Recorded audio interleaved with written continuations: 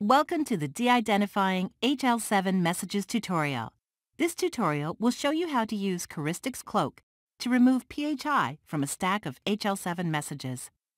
The application will replace PHI with new patient data generated at runtime. You'll keep the patient history and workflow, but remove the actual patient data. To get started, let's open Cloak and load a file containing HL7 messages. Messages can also be loaded from a database or directly from your interface engine if you have the connector installed.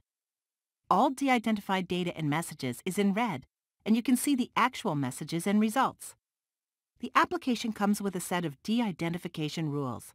They cover all standard HL7 fields identified by HIPAA as containing sensitive data.